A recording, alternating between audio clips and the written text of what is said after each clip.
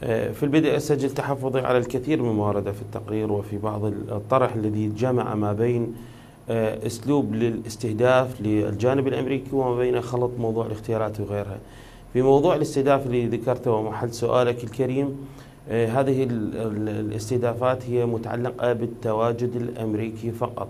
وما يجري استهدافه بعين الأسد وفي بلد وفي أماكن أخرى وفي فيكتوريا وفي أماكن وفي محلات تواجده أو في مناطق مرورة سواء كان من منفذ جريشان جنوب العراق وصعودا أو من خلال موقع التنف والمرور به هذه كلها محلات استهداف واضحة من قبل المقاومة العراقية يعني تقصد هي مشروعة أستاذ عباس. لكن إذا كانت مشروعة هل تسمح الحكومة والدولة نعم مشروع بذلك؟ تسمح الحكومة العراقية بذلك برأيك ولا تحاسب عليه؟ وفق الاتفاقيات المبرمة بين العراق والجهات لا الحكومة العراقية لديها رأي آخر.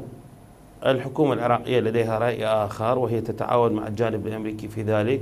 وتذهب باتجاه أكثر من ذلك فهي قد توفر له الحماية في أماكن أخرى.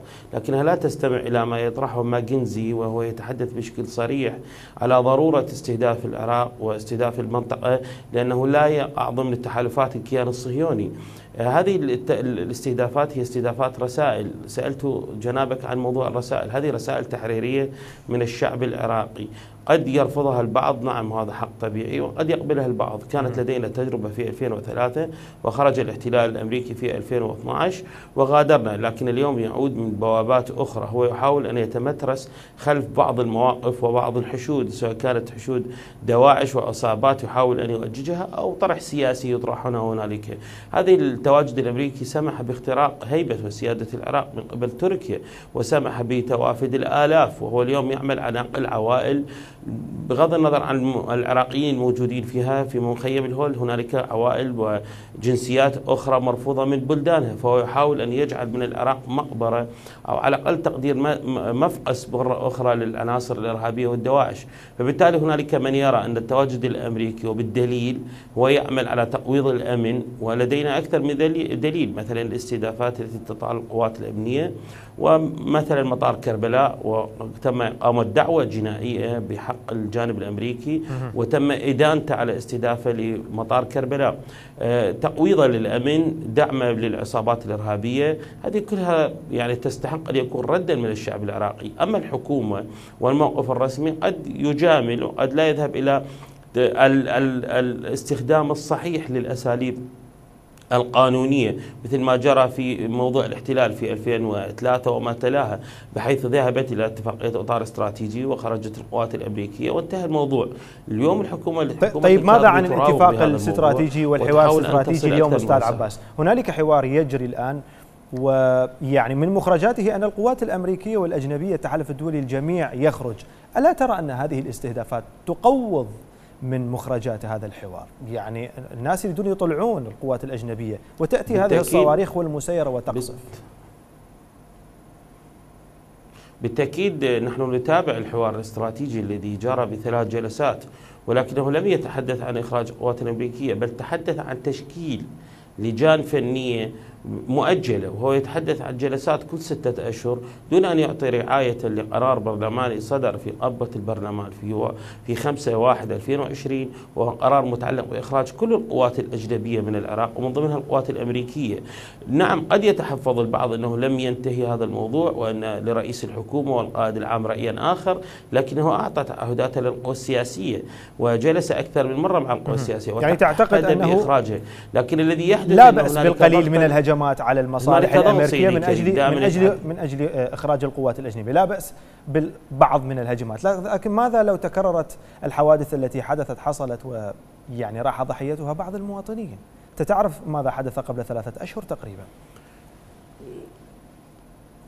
سيدي الكريم لحد الآن آه، كضحايا عراقيين مثبتين رسميا لدى الدولة العراقية ما صدرت والتقارير تصدر من خلية الإعلام الأمني غير دقيقة.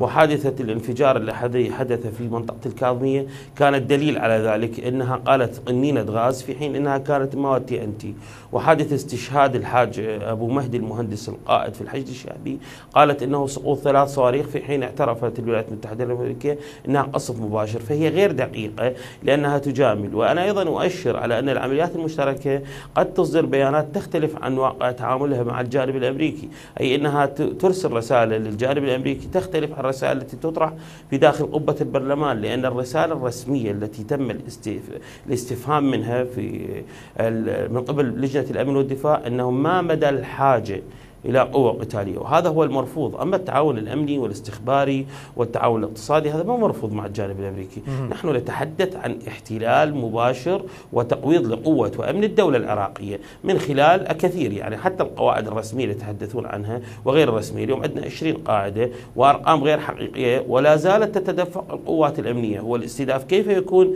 إذا لم تكن هنالك قوات تنقل إلى العراق؟ وهذا يثير الشبهة حقيقة. يعني نحن نبقى تحت المزاج الأمريكي. العراق ليس بلدا آه، آه، تفرض عليه الوصاية. العراق طيب. بلد راشد وعضو بالمجتمع الدولي وبلد حاضر في المنطقة. طيب، بعد كل هكذا حالات تقريبا تحدث شوشرة واعتقالات.